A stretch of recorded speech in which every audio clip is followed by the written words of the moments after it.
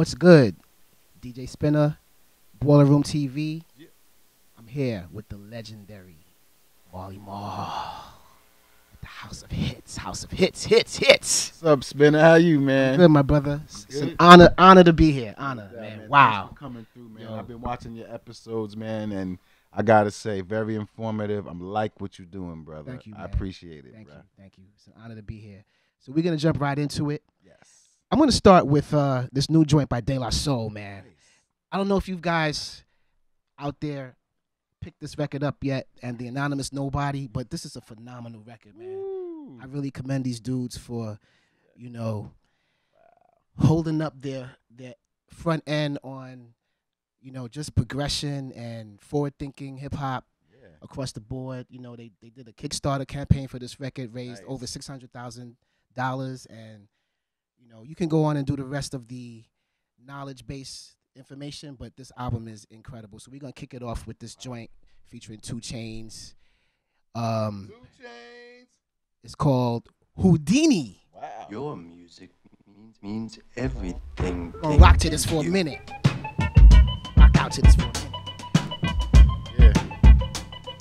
You a Whodini fan? You a Whodini fan? All the time. Right. Definitely a fan of De La because I'm. Prince Paul was always bring crazy on the production, man. Wanna watch, wanna and see who's full of it. We from the same place, land of the game face. Plug signs on the jackets, get props, yo, like a prop Joe package. It's illegal. How those kids can come from out of the slums and live so regal.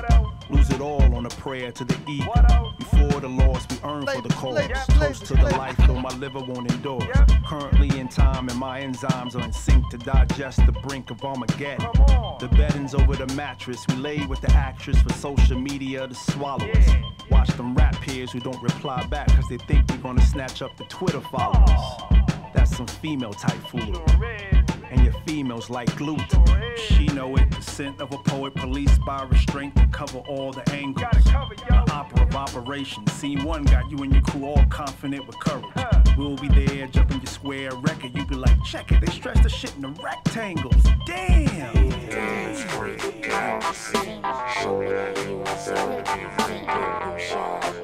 That does that hook sound familiar? Freaks come out at night. That's right.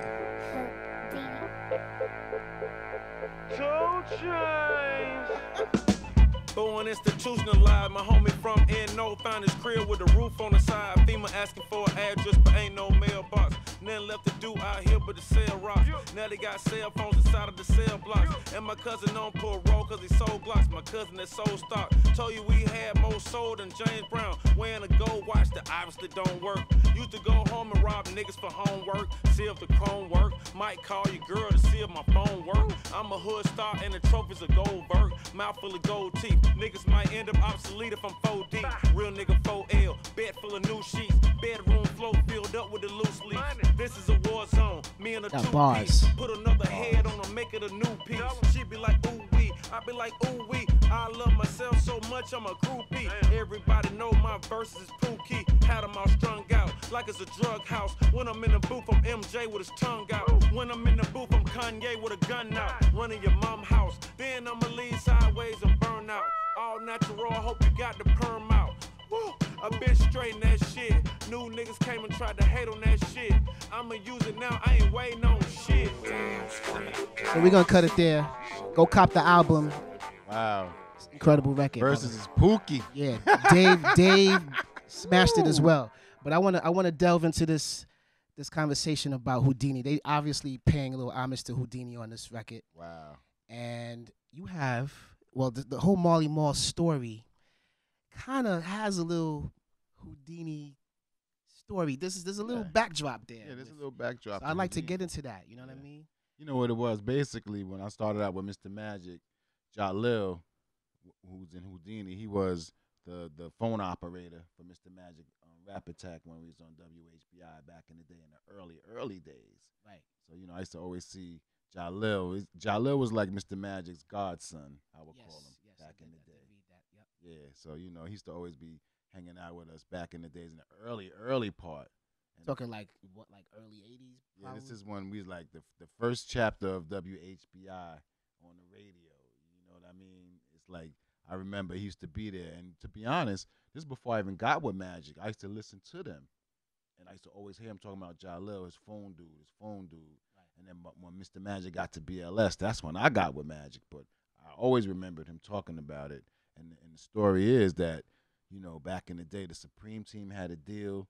You get what I'm saying? And they was giving those early radio guys deals. The Supreme Team got a deal real quick. You see, Bam got his deal with um with Tommy Boy. Tommy Boy, and you see Mr. Magic. They gave Mr. Magic a deal on Jive Records.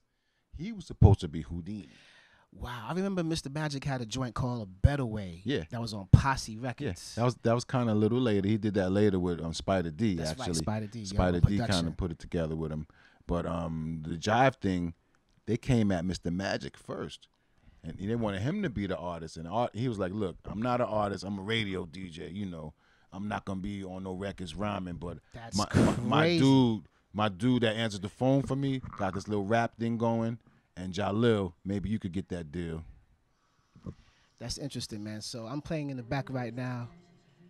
You know what? I need to bring this back because the beginning of this joint It's that drop was that drop show. that you used to use on That's right. on the radio back in the is a Mr. Mr. Magic Magic super super blast blast The original bomb right original there. bomb, right? Yeah, that, Before the other bomb. yeah, you know. So yeah, this is uh Mr. Magic's wand, Yes. Whodini. Larry Smith on production. Can we talk right. about him for a minute? Rest in peace to one Rest of in the peace, man. most incredible producers of of the origin of hip hop production Yes. of all time, And he- including yourself. And he had the opportunity to go overseas back in the day. He was the first hip hop producer to go to London and see the technology they was using and brought a lot of it back. He was way ahead of his time because he saw that technology early. Man, I, I always noticed with his production, man, it was polished, Yes. Yeah. sounding like very high end. Yes. synthesizers that were being used. I mean, I think Tom. I think Thomas Dolby did this joint, but Yes. Larry went on to do all the big, you know, the the One Love, That's right.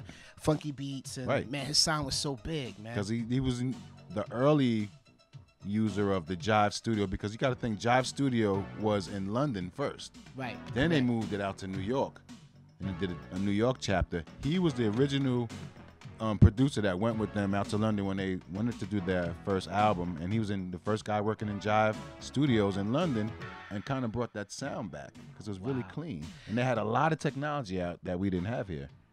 So, you know, you actually started around the same time Yeah. on production, and um, I also noticed on a lot of records that I've had that you were a mixing engineer. Yeah. So I'm gonna play a couple of things I think might jog your memory bank a little bit. You know what I'm saying? I don't I don't you know, a lot of us who are into production and, and make records and what have you, we don't really take the time to reflect Gotcha. and go back in our discography and really, Mm-hmm. you know, Well, kind of like for me, I was kind of lucky enough to do, do my internship at Unique Recording Studios in in Manhattan, and you know the owner, he was a tech guy, so anything technical that came out, he would get that. So when the emulator came out, he had it that day. Any sampler came out, he had it that day. Cause Arthur Baker, I'm used to record there. S- Um, Cinnamon, make let the music play. All of those songs were made there. So he was a, yeah, a lot of big records came out of that. So he had to be ahead of everybody with technology. remember this? Yes.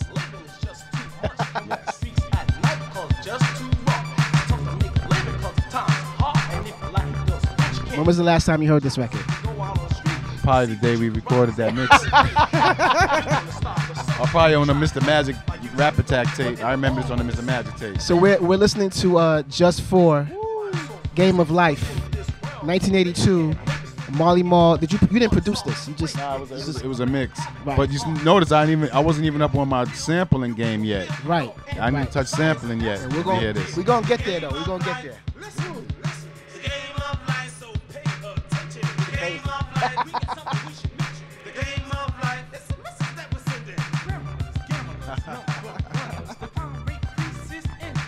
Wow.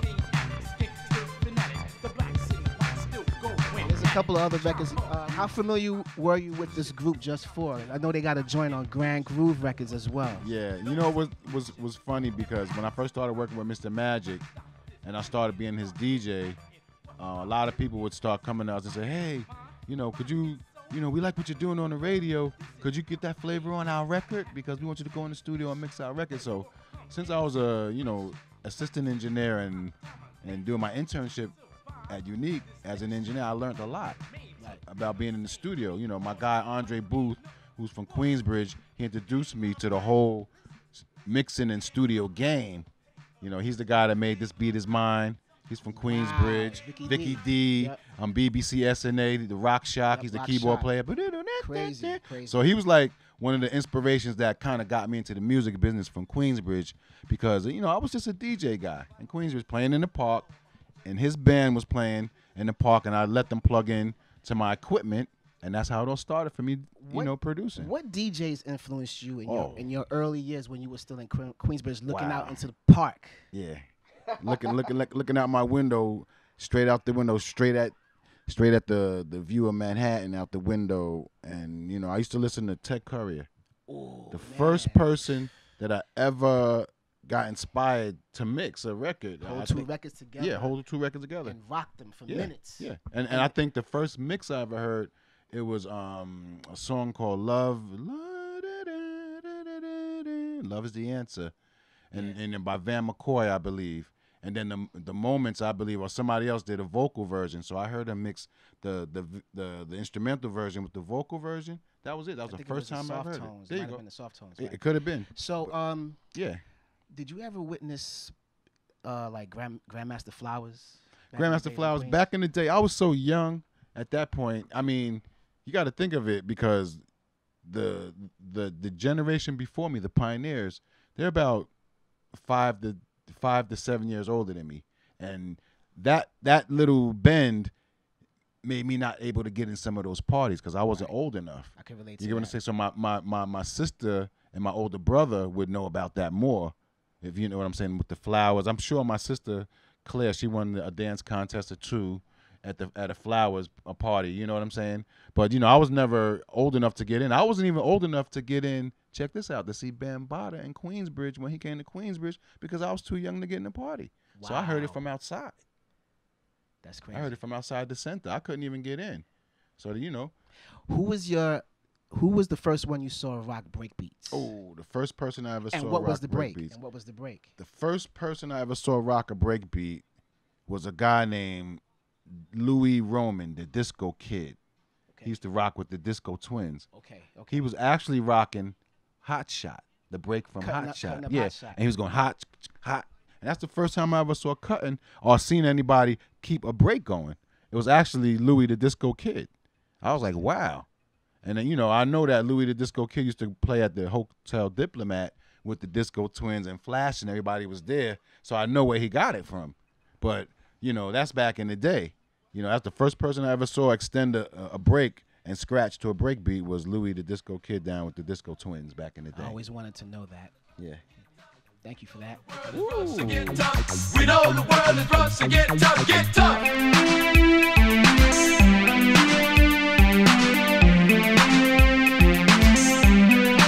So get tough, get tough.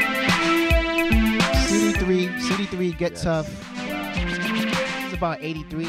A lot of people don't even know I'm So affiliated get with this get record. And this is one of my prides back in the day. I was so happy about this record This back in the day. back in the day Yes, definitely mirrored what was happening with electro yes, influenced hip hop. yes. Um, and, and for it to come out on a label that was primarily known for disco as well, 100%. Prelude Records. That's right. so, how did this happen? Well, basically, um, once again, somebody uh, got to Mr. Magic and said, "Hey, we want you to do a mix." So Mr. Magic, of course, said, "Hey, Marley, come on down to the studio. I'm mixing a record. Da da da. I want you there. You know." So I'm going down. I heard it. I was like, "Oh, okay."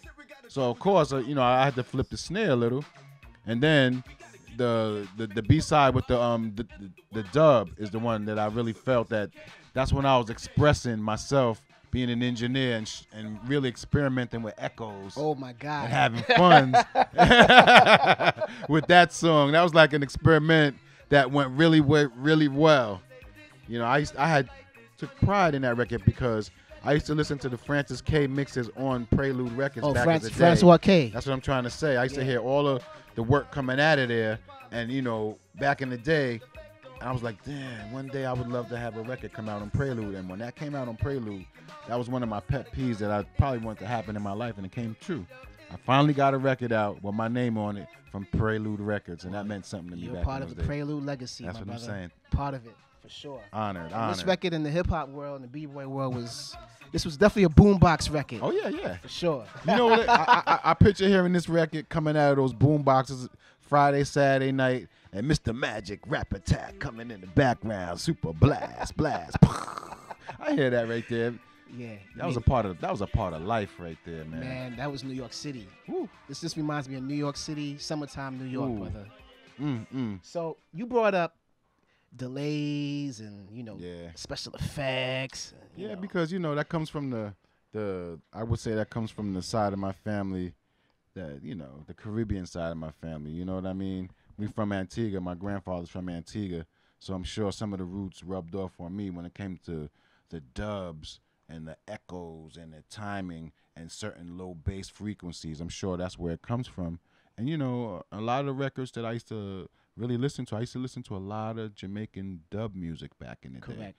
and that's why I decided I used to make dub versions on my on my um hip hop mixes. On the other side, I never gave out instrumentals, y'all, because a lot of artists are still come to me to this day for instrumentals so they could do it at their shows. I never gave away instrumentals back in the day because I already knew the significance of them in the future. But I always threw a dub on the B side of my records.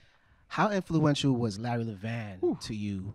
Because he also championed uh, music from the islands, Yeah. and you can definitely hear um, a lot of delays on some of his mixes, like Gwen Yes, Guthrie Seventh yes, Heaven, for yes, example. yes. Like when you A and B the studio version of that to the to the mix that he did, it's like the you know the little guitar riff in the beginning, Wow. or the synth lift, uh, lift, uh, riff. It was it had Incredible. just delays all over the place. You know what I mean? Like Yeah, you have you would have to think with Larry Levan. See, he was tailoring his mixes for that sound system in the garage. Because you could imagine, I could imagine just hearing Padlock in the middle of the garage sound system with the echoes. Lock it, doo doo doo doo doo. How would it sound? He tailored it for that system. He tailored it, and he didn't know that that was the sound of the future. And you know, my first experience meeting Larry Levan, Dr. Bob Lee, took me in a um, Juice Mobile at a Frankie Crocker birthday. Those of you who remember, Frankie Crocker used to have like 20 birthday parties around his birthday. One was at the garage, and we went to the Paradise Garage, and that's when I first met um, Larry Levan. And you know, he was rocking, and that's when I first got the experience. what year was that? Around. Ooh, and that's like now that's actually just before I got on the radio with Mr. Magic because I was running around with Bob Lee first on the van. This is early. So it was early. It was around it was it was really it was like in the the heap of the garage time. Crazy. It was like on a Saturday night so you know what was in the punch.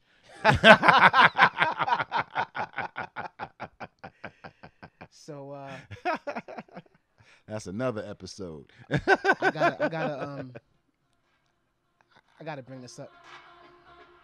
Ooh.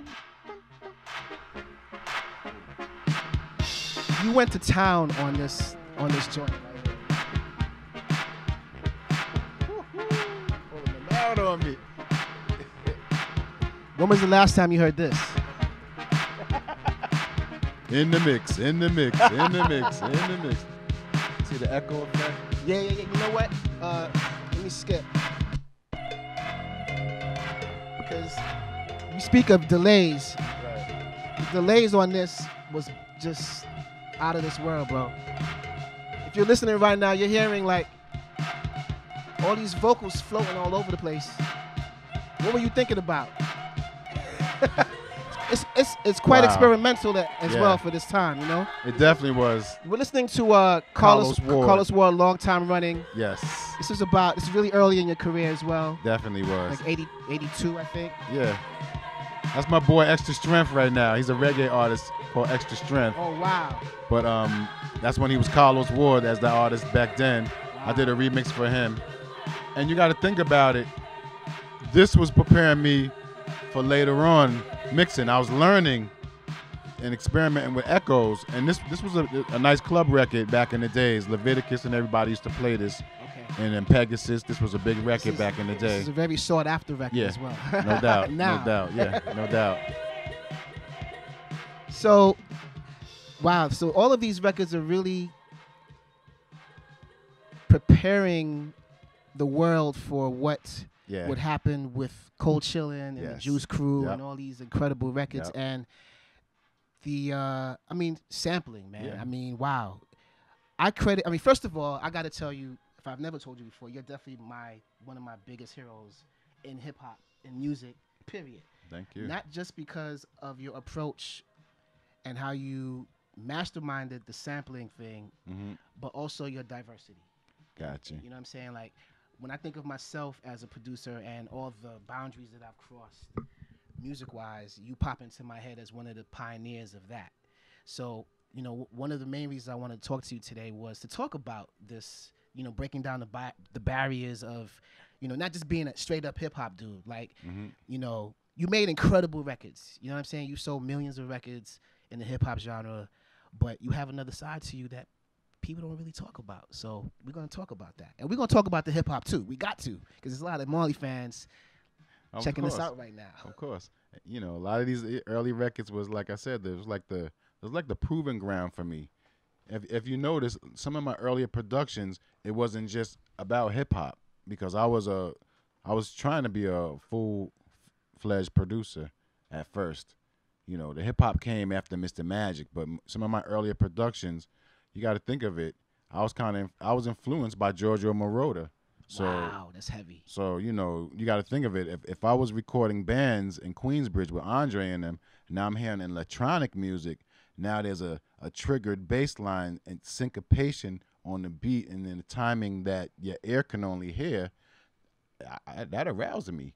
I wanted to know how they made those records. How did they make "I Feel Love"? I, I, that when I first heard "I Feel Love," it bugged me out. How did they make that? How did they make the how did they make the instrument play electronically and stay in time that tight? Right. So that's what I, you know, that's when I took my intern. I took it serious. I went, got an internship at um, at at Unique Studios, and, and Bobby Nathan, the owner, he was a tech head. He he he was able to get everything new that came out, so we had access to everything. You know I had to play this. a DJ, you gotta do your best. Have your own kind of style, not like the rest. No jumping up and down, spinning with your feet. Dimples 'cause the D, beats that play Sucker let the beat on DJs. beat. So Marley Marl went Kind of an answer to to Sucker the MCs, correct? Yes. who could cut So who's Dimples D? Where did she come from? How did this record come about? Oh, the wow. label that it's on. Yes. What came out a year later on the same label, which led to a bigger label. Let's Yes. let's, let's deal with that. Okay. well, definitely. Um, well, you know, my in my electronic world, me and Andre was um trying to be like the system. Wow. we was trying to be like the system, or Giorgio Moroder and Pete Bellotte, whatever. You, you know what I'm saying? We was trying to be that team. Right. So one day we was shopping some electronic beats to Arthur Baker. Interesting. So we're letting them hear like songs like the Webos that I made back in the day with Andre Booth on Sam Records. That was like one Was of my that first. you too? That was one of my first Wow. electronic productions. Were you credited on that? Uh, Hey, It's one of them it's situations. one of those. But Okay, okay. you know, I, I'm I'm I'm on it as a as a remixer. But you know, Okay. the electronicness. You know, me and Andre put that together. That was me experimenting. So we're giving Arthur Baker beats like that, and we're going through the beats, and you know, he's not phased. He's like listening, saying, "Oh, whatever, whatever." Da, da, da. So now we get to Dimples D record on the demo cassette, and we let one second of it play. Gotcha. And we said, and I stopped it, and I'm going to my electronic shit. He's like, "No, what was that?" I was like, "No, no, no, we're not here for that. I, I got. I'm trying to let you hear this." He's like, "No, what was that?" Wow. I was like, well, that's something I did with, you know, a, a girl in my neighborhood. You know, since I'm a DJ, I made an answer record for me personally to sucker MCs. Right. Because, you know, all of my first productions were for me being a DJ. They were not supposed to be records. A lot of my earlier records wasn't, supposed to be records. There was like little special things for me. So this was a special version that I would have when I DJ'd. I could play sucker DJs because everybody's playing sucker MCs. I want a female talking about sucker DJs, just to have something special for me. Arthur heard it and said that's a record. Arthur, I made that in my living room. It's not a record. We're not here to let you hear this. We want you to hear this. He's like, yo, I don't know what you're talking about, but I'm going with that. That's crazy.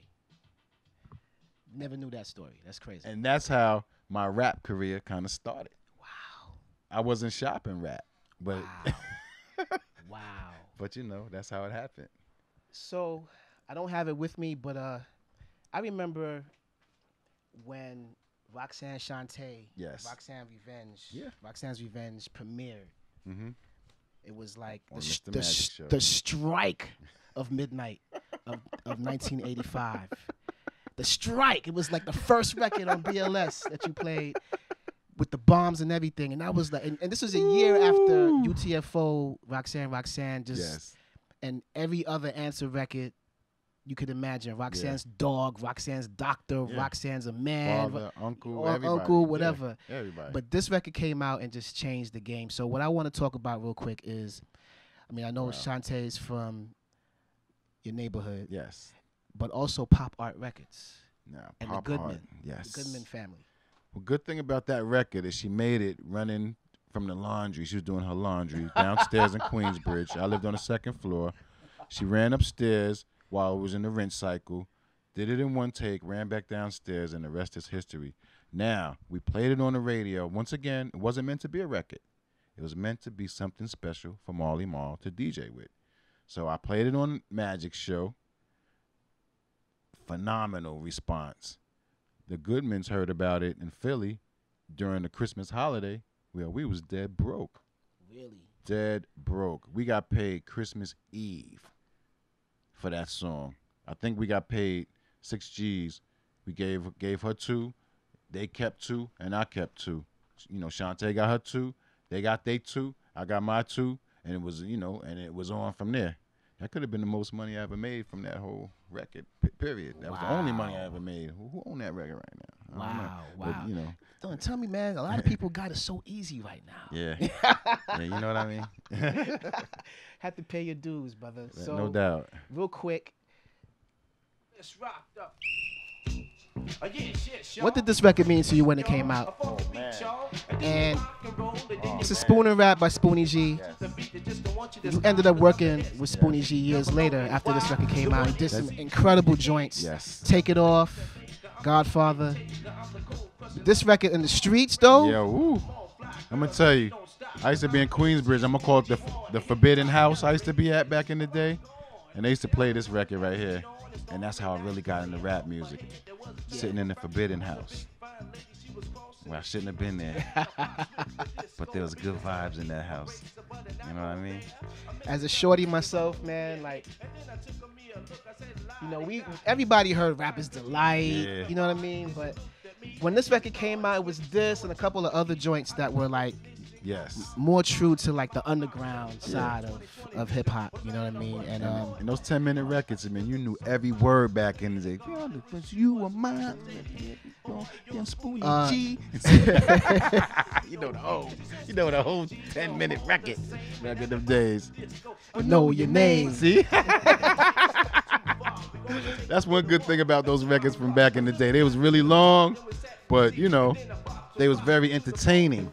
Non-stop rapping. yeah, nonstop rapping for like 10 minutes. But I tell you one thing, when I started producing, see, I'm glad you played that record because you know I, I did get to work with Spoonie G later on in my life, and a lot of the earlier records that that came out and rap, I didn't really like a lot of the earlier rap records that were coming out because when I first heard rap and first fell in love with rap, it was probably from a tape from the Bronx or Upper Manhattan. It was scratching. There was DJing. There was echoes. One, two, two, two. Yes, yes. You know, and it was break beats. And so I, I, I really felt that that was a, a missing element in hip hop records when the records started coming out. I mean, I, I do give the pioneers all they all they props and you know give them all they love and everything, but the Well, records wasn't the best that they could be. Nah, I because felt. they had to water it down to sell it. You know what I mean? And once the music industry got a hold of it, then this is a whole different sensibility I, into I look making at it kind of like this too, though. They, they, you know, it was a band era. Now the band guys was trying to replay these records that we used to play as DJs. So what I used to do That's why I brought sampling to hip hop. I brought that element back. I brought that mixtape, street tape, flash tape, echo, scratch, breakbeat Well, element back to hip hop. That's why. that's I why we started love you, sampling. Marley. That's why we love you. That- that's what I felt was missing. I mean, I used to like a lot of the records that me and Mr. Magic used to have to play, but they didn't have the element that made me fall in love with hip hop. Well, the one thing that I can say people have championed you for is the art of sampling and kind of taking that idea of the breakbeat Yeah. and the loop, being able to re-loop it or reprogram the drum Yeah. break so you actually hear kick snare, Yeah. the dirt, the grit from the record, Yeah. reprogrammed for the MC to rhyme to. Dude. That was a big deal for hip hop, man. I, in, a, in a lot of ways, you kind of like saved it. I, I, I really tried to bring that back. I brought I brought back every element of that except for the gunshots and the running at the end. 'Cause a lot of- Some of them tapes from back in the day, it always ended with the gunshot and, and the bottles busting and people running and, and the music stopped, and that was the end of that tape. A lot of times it ended like that, but I've tried to bring that element back to to to you know to the hip hop game to to the music the the raw element. You know, I used to love hearing "Catch a Groove" and somebody rhyming off it with echo on it. You know, I would love Peter Piper. Ding ding ding ding. Mardi. Gras. Mardi Gras. You know what I'm saying? Peter Piper, Mardi Gras. I would love to hear that just scratched up and somebody rhyming over with an echo. One, two, y'all, y'all, yes. That's why my earlier records on Cold Chillin' had that little slap echo on it, man. Right, right, I was right. trying to bring that street, the street tape element back That's to hip- the that's music, hip-hop. to it. That's hip hop. And that's why I believe that's a time of hip hop that people can't forget because it's instilled instilled in their brain because that was when the true element of it hit, right. you know. And I think that's why a lot of us from a certain generation of this rap world, hip hop world, Mhm. are still endeared to that time Gotcha. because it really encapsulated what was happening in the street. 100%. You know what I'm saying? And it, 100%. it translated to the music that was being recorded. Yep. So when we're talking about the music we love, it ain't really against the new stuff as much Mm-hmm. as it is. It's part of us. Right. And believe It's me, part of us. It's and we didn't have it easy like now. We didn't have Garage Band where you get drum sounds and bass loops and everything already there looped up for you. We had to go find things. You know what I'm saying? I, I mean, I give a lot of props to everybody making beats right now, but y'all cats got it very, very easy, easy. right Very now. easy. You got to think about think about Pete Rock looking for that snare. Think about Spinna looking for that kick, that hi hat, and you can find it on that record, and you find it, and you have it. Only you got it. It it wasn't stock. That's why a lot of beats sound the same because everybody's using the same stock sounds. Before, we would go find our own sounds and and pull out our own individual, you know, feel to what we wanted it to be. And you know, that's what that's why, you know, right now, you cats got it real easy. GarageBand wasn't in everybody's computer when we when we was coming through.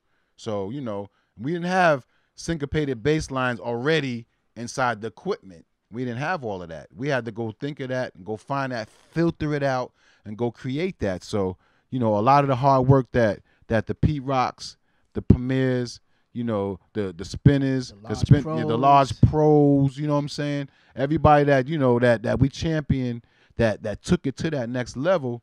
Come on. You got to you got to give it to cats because dude, we had to go it, it was beat shopping is not what it is right It's now. YouTube digging now. I'm, I'm telling you, digging is not what it, it, you know, not what it used to be right now.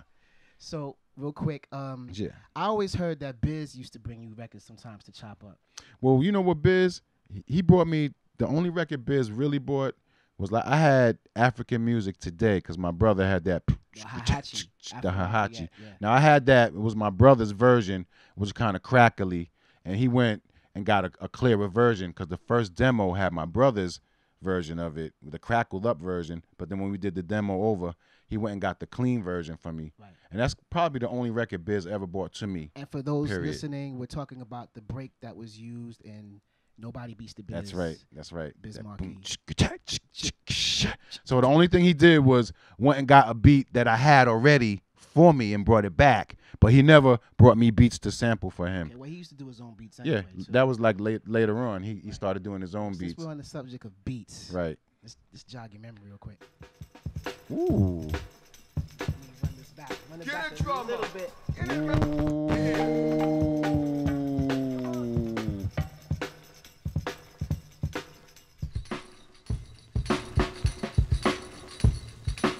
Let me let you. Let me just let you hold. Now I can tell you to be honest, right there. Now Kane did bring me that beat. Kane. Kane brought me that beat, and I was like, like, how are we gonna use this Kane? And and and like I said about Kane, I will always say this about Kane. Kane pushed me as a producer because all the other artists, I was making beats and giving it to them. Yo, this is for you, Shan. Boom. This is for you, Sh- Shante. Boom. This is for you, G Rap. Boom. This is for you, whoever. Ace, you get this. But you know, Kane had a different vibe. Kane wanted to push the envelope. Kane wanted to go faster than everybody. Is that right? Yeah, Kane wanted to rhyme fast. He's like, speed up. I'm like, yo, we going fast enough, dude. We doing like 120. We doing like 124 right now. 126. You still want to go fast? He's like, yo, speed it up. And when we did rap for Kane, I knew that was gonna change rap because you can't play nothing after this. Man, this record was.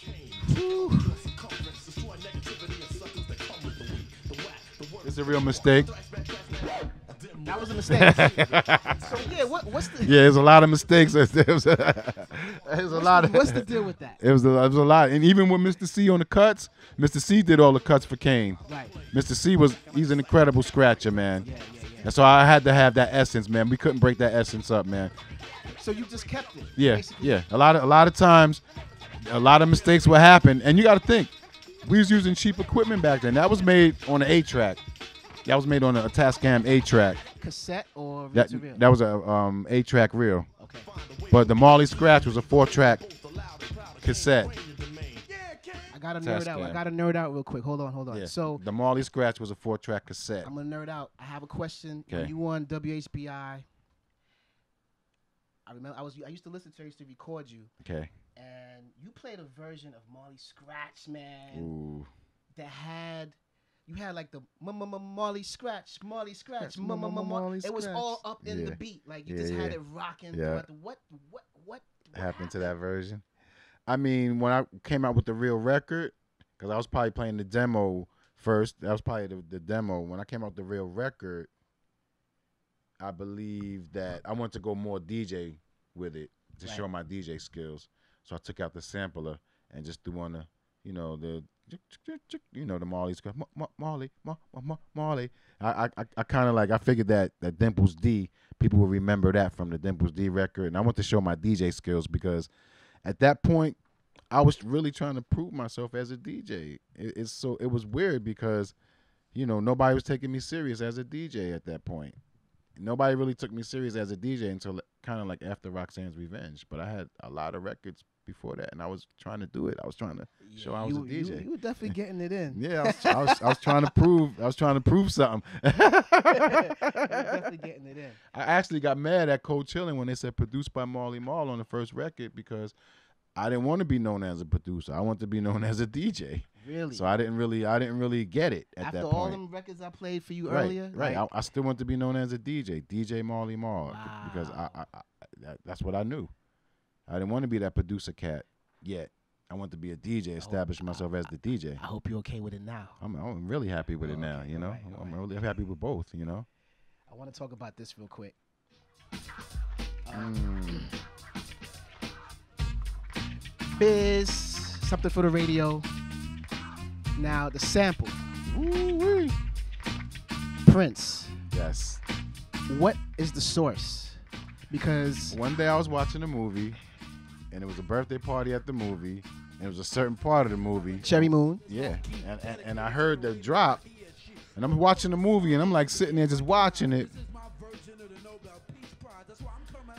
And I had it on VHS. I was like, yo, you let me let me run that back. Cause that was hot right there. They was actually they was redoing Planet Rock. Planet Rock. That's right. Don't can't stop. Yep, yep. Planet Rock.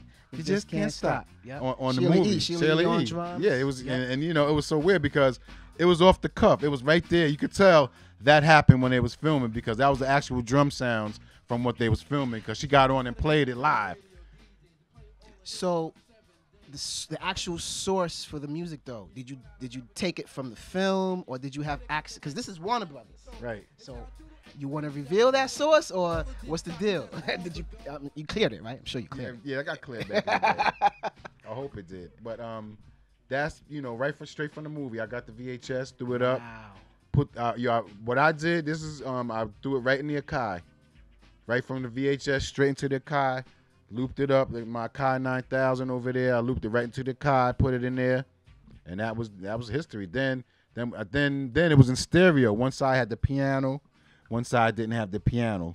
So I was like, okay, let's go to the let's pan it and put that track on both tracks so it could be the without the piano because that. Right. Got that you know, so yeah, it's, it's so I panned it, got this, got the sound right, EQ'd it, threw a little 808 and my hi hat behind it, and and and that's where that's exactly how it rolled.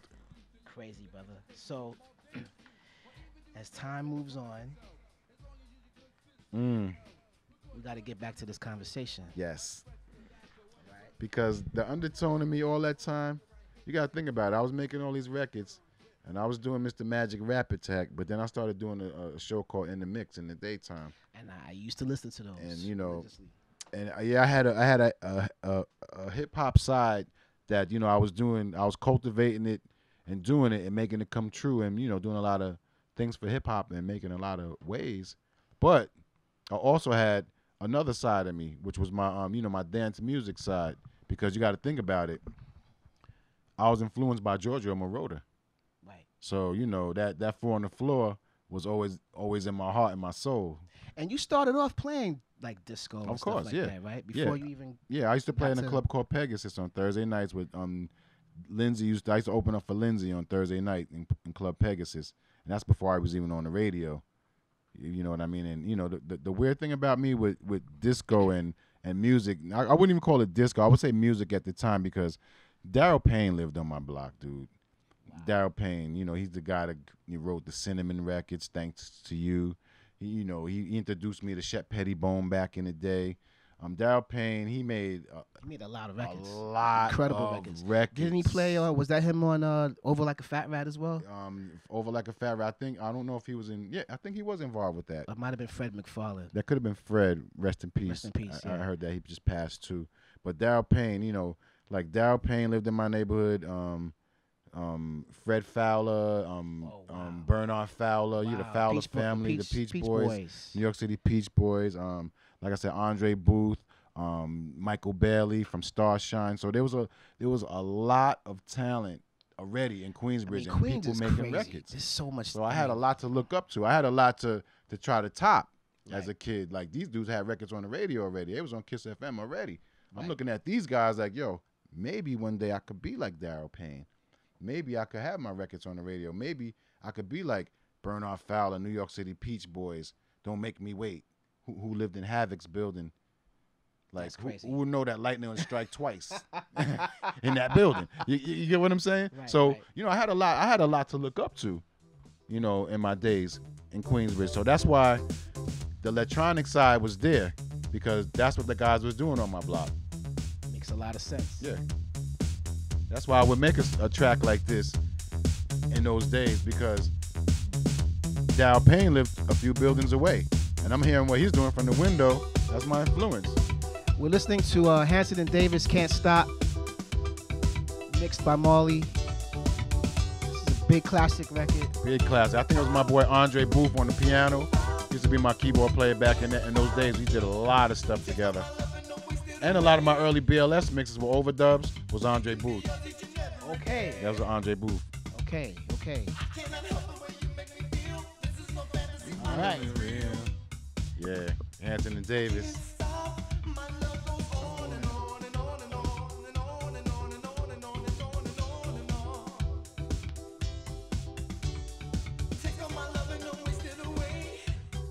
I Uh, often wonder sometimes if Mr. Magic didn't grab me and put me on a rap attack, because to be honest, I, I you know, before I was on a rap attack, um, 98.7 Kiss was already playing Dimples D. Right. It was already playing it. So, all right, I know I got on the radio through Mr. Magic in another way, but I'm thinking like if I didn't work for Mr. Magic and I would have been still making records like this, what would have happened? I- I- would I I become can- a force in dance music? Yes.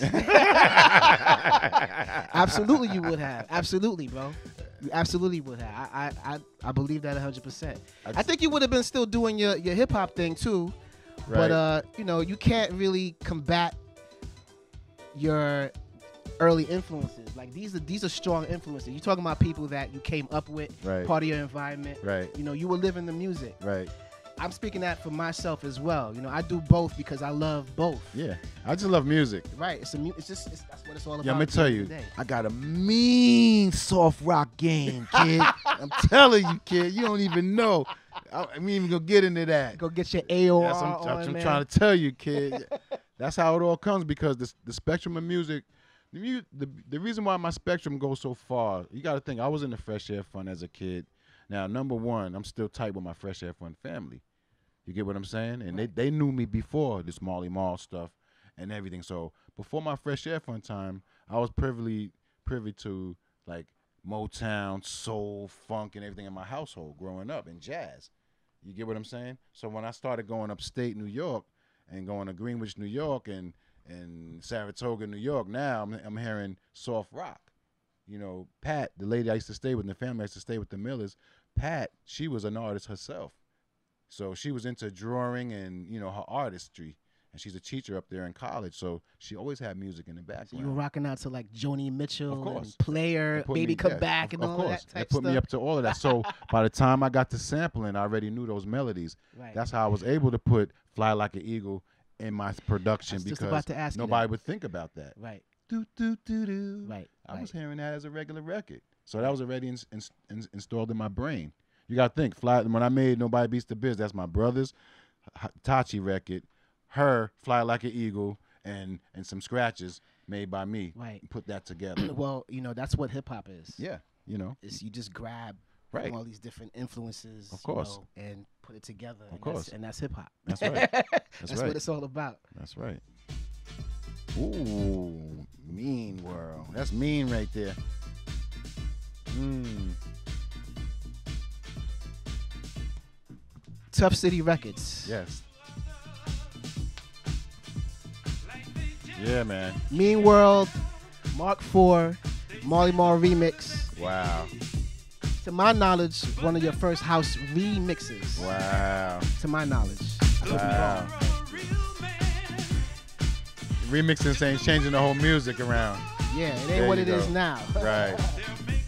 That wasn't a re-level.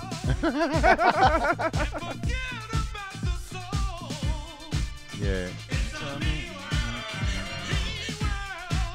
Tell me about the first time Wow. Tell me about the first time you went to a Paradise Garage, for example, and heard one of your own records, like exp- uh, "Release Yourself" by the Aleems, which was a big Larry Levan record. Like, how did Yeah. that feel? um I've I've heard, you know, I, I didn't I didn't have the privilege of, of of walking into the garage and hearing Release Yourself, but I've heard stories about how they would throw on Release Yourself by the Aleems, which is ano- another pinnacle record in my life. I, I believe that if I would have ever walked into a, the, that atmosphere and to witness that, I, I, I probably would probably be full of myself. a lot of times, a lot of great things happen that I didn't see, which is kind of good because it keeps me balanced. Yeah. You know, a lot of you know when the records are always playing on the radio, around the way girl playing twenty times a day, or so and so playing so and so. Maybe maybe I wasn't tuned in, so I didn't hear it. Right. So it, that keeps me grounded. A lot of great things happen, but sometimes I, you know, I look at it as just another day.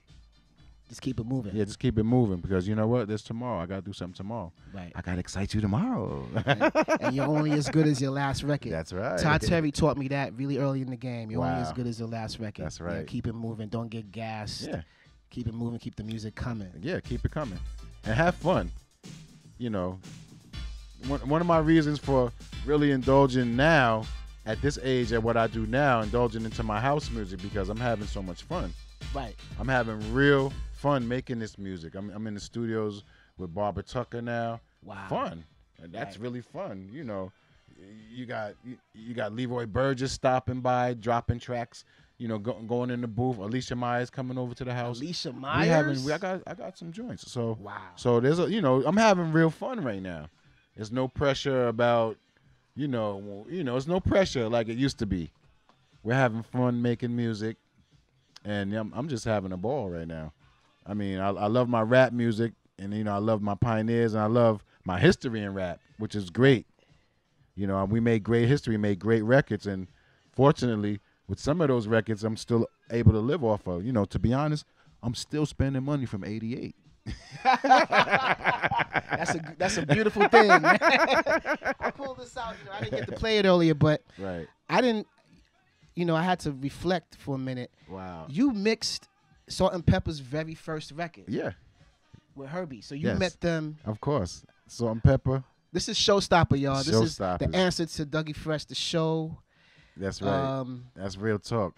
And and you know what? We programmed that in Queensbridge, in my apartment in Queensbridge.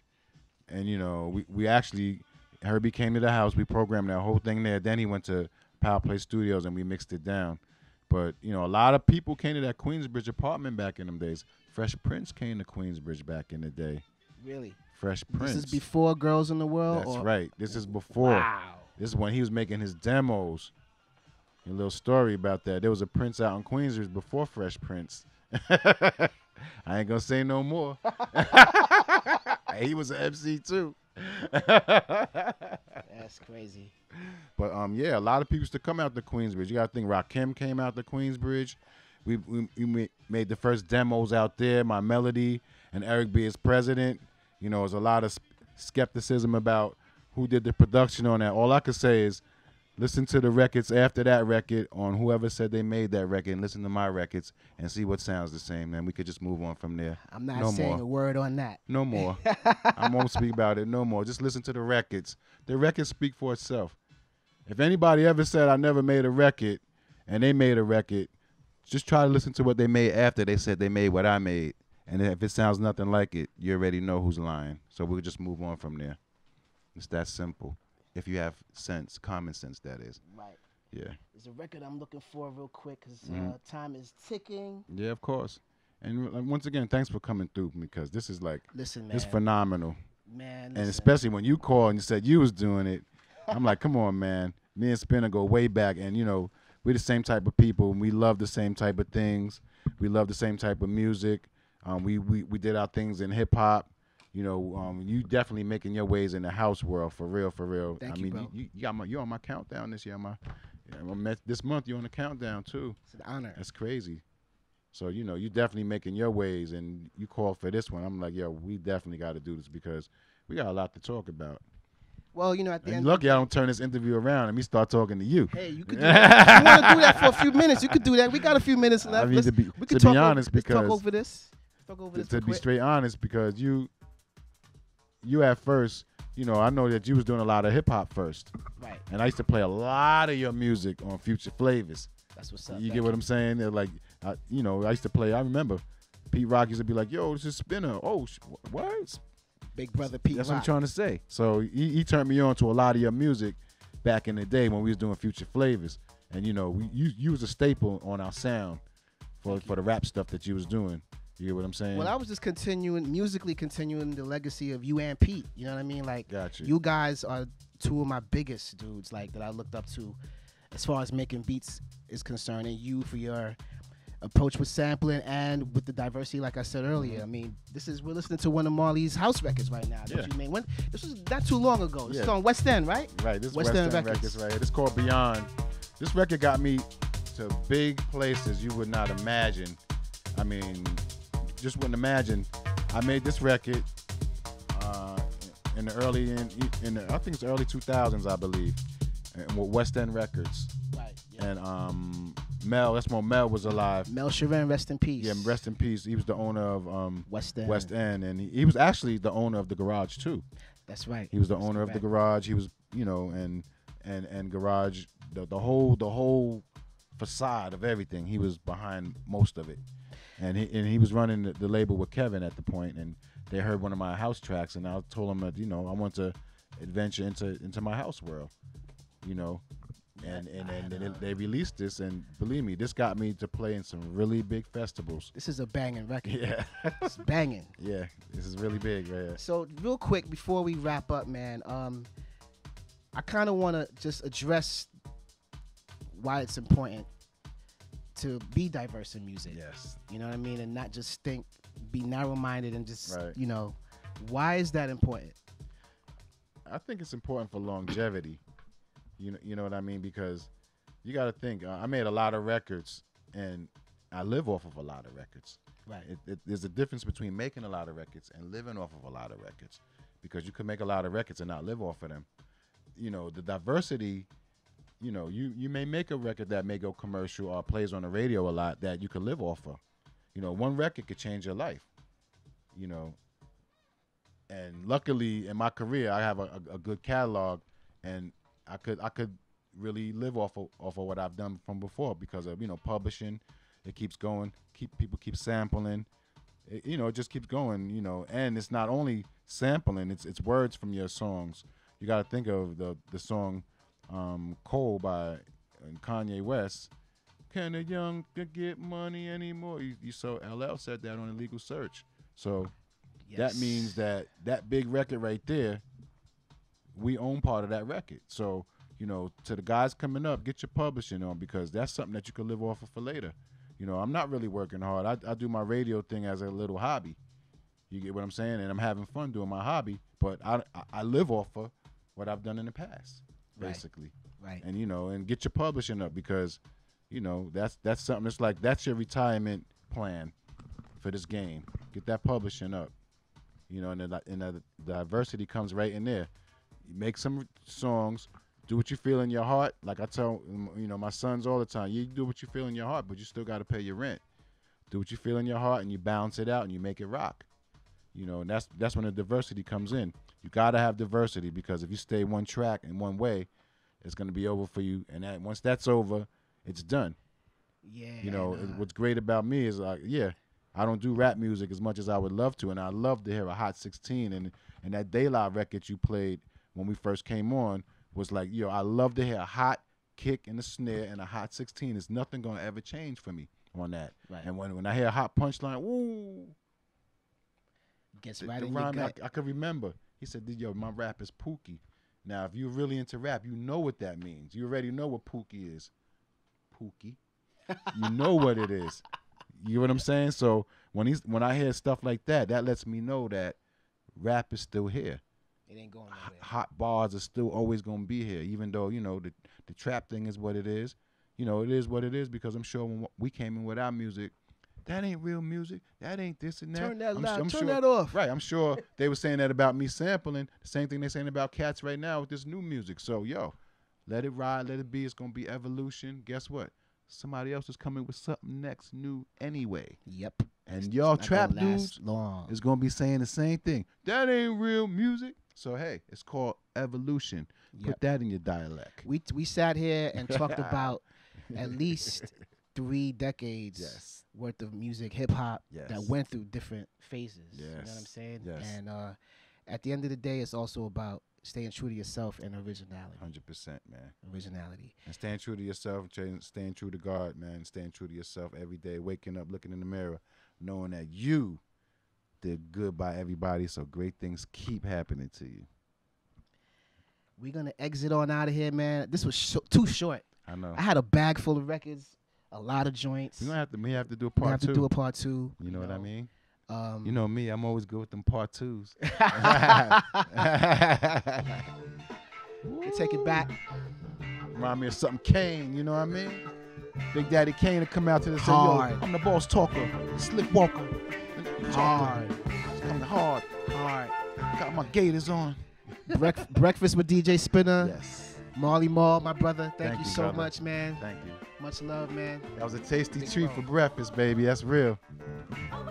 Peace. Peace. Now where my orange juice? Where my orange juice? Where my OJ? Where my OJ here?